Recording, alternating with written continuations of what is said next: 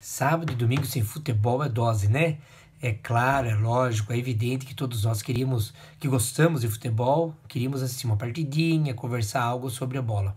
Mas é um sacrifício que todos nós precisamos fazer.